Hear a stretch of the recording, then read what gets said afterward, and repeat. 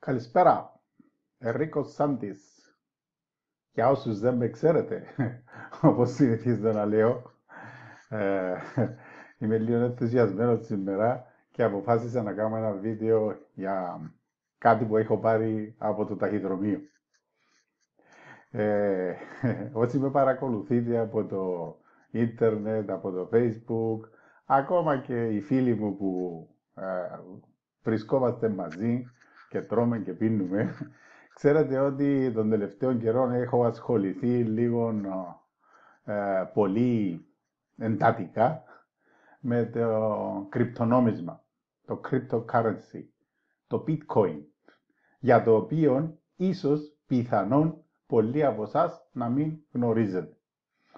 Ε, και αυτοί που δεν το γνωρίζετε και το ακούετε για πρώτη φορά από μένα, ε, μετά από λίγα χρόνια θα θυμηθείτε και να λέτε «Α, εντούν το πράγμα που ελάλε ο φίλος μας, ο Σάντης». Τι έχω πάρει σήμερα από το ταχυδρομείο; Έχω πάρει το πρώτο μου Heart Wallet. Heart Wallet ονομάζεται. Είναι το σκληρό ε, πορτοφόλι. Εδώ είναι η τράπεζα. Η δική μου η τράπεζα. Που θα φυλάω μέσα το ηλεκτρονικό μου χρήμα. Το οποίο ηλεκτρονικό χρήμα θα μπει στη ζωή μας είτε το θέλουμε είτε όχι. Και να σας εξηγήσω γιατί. Δεν θα, ε, θα σας εξηγήσω επιστημονικά. Θα σας εξηγήσω πρακτικά. Τι είναι αυτό; Πόσοι θυμούνται τι είναι αυτό; Κασέτα. 60 λεπτά τραγούδια. 60 λεπτά. Εντάξει. Πριν 30 χρόνια. Τι είναι αυτό; Α; Πόσοι θυμούνται τους δίσκους;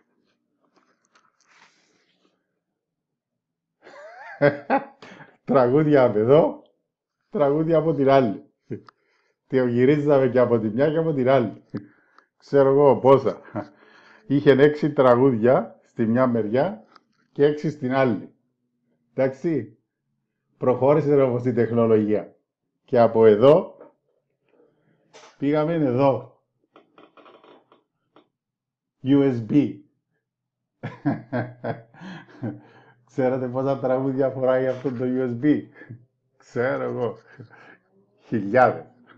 Και έγιναν αυτά τα USB τεράστιας αποθήκευσης. Τι είναι αυτό; Χαρτονόμισμα. Από αυτόν όμως, το χαρτονόμισμα, πήγαμε σε αυτό πλαστικό νόμισμα. Εντάξει. Από το πλαστικό νόμισμα θα πάμε στο ηλεκτρονικό. Δεν υπάρχει άλλη οδός. Και να σας εξηγήσω γιατί. Διότι αυτόν, το οποίο είναι το λεγόμενο IU, IOU, εγώ σου χρωστώ, είναι μια συμφωνία μεταξύ της τράπεζας και εμένα ότι αυτό το χαρτί αξίζει 50 ευρώ. Εντάξει. 50 ευρώ. Το δίνω και μου δίνουν αξίας 50 ευρώ. Αλλά δυστυχώς έχουν αντιληφθεί τώρα οι κυβερνήσεις ότι με αυτόν το χαρτονόμισμα δεν μπορούν να ελέξουν όλες τις εργασίες. Αδήλωτη εργασία. Πάει ο υδραυλικός, φτιάχνει ένα τόιλετ, διούν του 50 ευρώ, αδήλωτη εργασία. Πώς θα την τσεκάρουν, πώς θα μαζεύουν τους φόρους από την αδήλωτη εργασία, όταν δεν υπάρχουν αυτά; Θα υπάρχουν μόνο αυτά.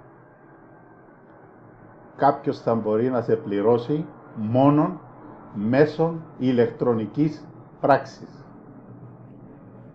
μέσω του τηλεφώνου. Όλοι μας έχουμε τηλέφωνο. Θα βάζουμε δύο τηλέφωνα, το ένα απέναντι από το άλλο και θα γίνεται η πληρωμή. Για να γίνει αυτή η πληρωμή θα περάσει ηλεκτρονικά από κάπου και ελέγχεται και πληρώνεις ΦΠΑ και πληρώνεις φόρο και θα πληρώνεις όλα. Γι' αυτό το cryptocurrency θα μπει τελικά στις ζωές μας. Wallet, soft wallet, θα είναι άδειο soft wallet. Όλα θα είναι εδώ, στο hard wallet. Εδώ μπορεί να αποθηκεύσεις ε, τες, ε, εντάξει, είναι λίγο δύσκολο να το εξηγήσω, διότι δεν πρόκειται τώρα να σας εξηγήσω τι είναι το cryptocurrency, ε, διότι παίρνει ώρες. Αλλά ε, αυτό το ηλεκτρονικό χρήμα το έχεις κάπου αποθηκευμένο ε, βάσει κάποιας διεύθυνσης.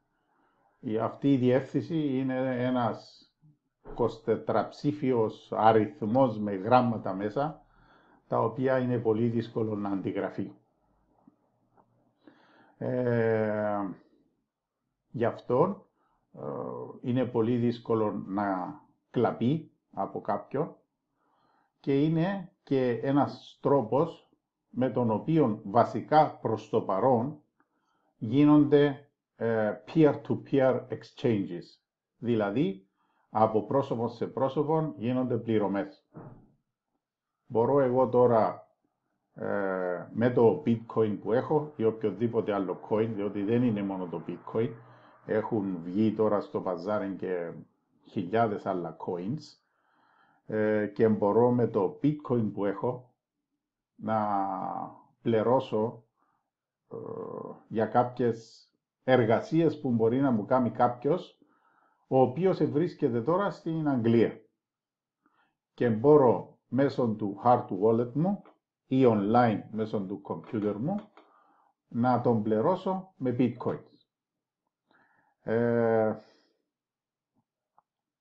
το bitcoin έχει ξεκινήσει να, την κυκλοφορία του το 2009 και ήταν πολύ ασήμαντον σε σχέση με το δολάριο. Ε, Κάποιοι αγοράσαν bitcoin 10 bitcoin στο δολάριο, ακόμα και πιο λίγο περισσότερα. Και τώρα, ε, αυτόν τον μήνα, ε, κοντεύει πάλι να είναι ένα bitcoin 5.000 δολάρια. Έχει ξεπεράσει το 5.000 τον περασμένο μήνα. Ε, κατέβηκε κάτω για λίγο, τώρα ξανά ανεβαίνει και ε, γίνονται 120 billion transactions καθημερινώς ε, με τα bitcoins. Βασικά, τώρα να δω αν μπορώ να...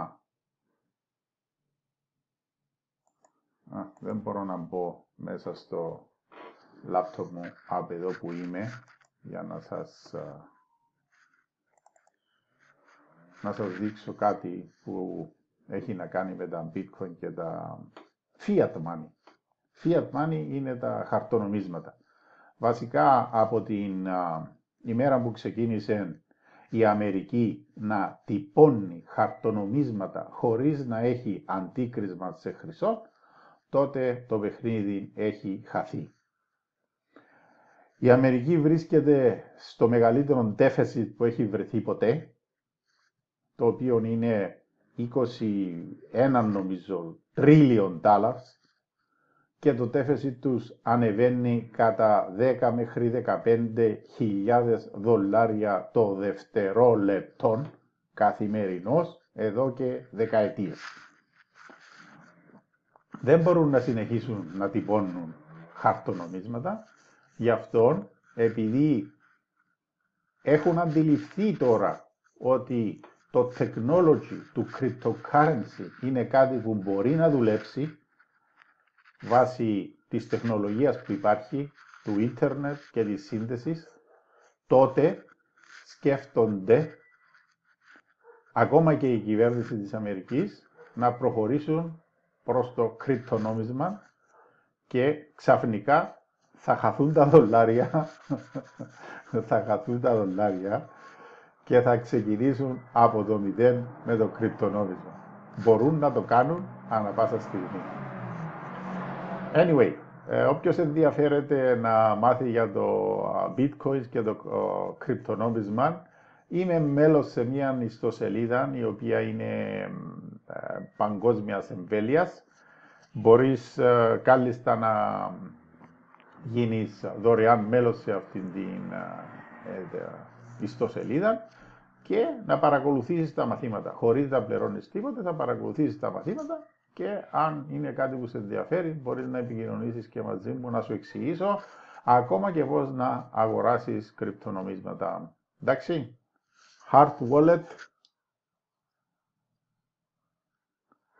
soft wallet.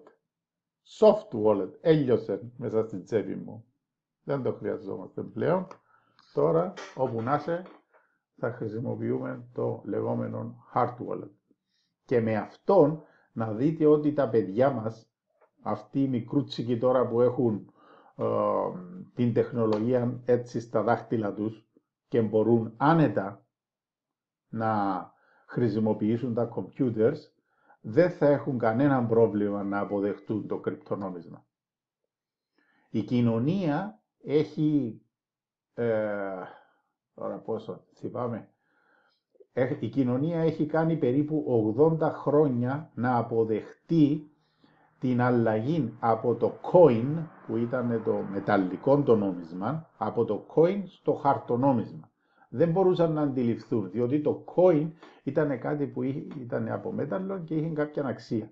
Όταν τους είπαν ότι δεν θα υπάρχουν πλέον coins και θα τα κάνουμε χαρτονομίσματα, δεν μπορούσαν να το αντιληφθούν και ε, για να γυρίσει ο κόσμος όλος στο χαρτονόμισμα ε, πήρε περίπου 80 ε, χρόνια. Μετά σε 10 χρόνια όμως ο κόσμος αποδείχτηκε αυτό. Εντάξει. Και οι μικροί τώρα που ξέρουν τι είναι, που βλέπουν τη μάνα τους και τον πατέρα τους όλη μέρα να δίνει αυτό το πράγμα, νομίζουν ότι είναι χρήμα αυτό. Δεν, δεν έχουν πρόβλημα τα, τα μικρά παιδιά με αυτό το πλαστικό χρήμα. Εντάξει.